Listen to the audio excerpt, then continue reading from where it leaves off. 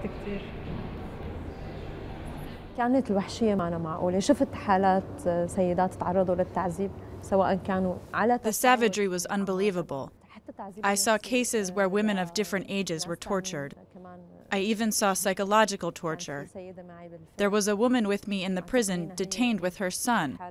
They were being persecuted.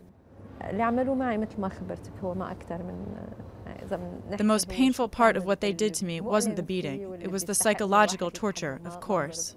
كان الحرب النفسية طبعا الثورة طبعا رح تنتصر I'm sure that the Syrian revolution will win, whether through these negotiations or any coming political process. It will win, but not through continuous war. تنتصر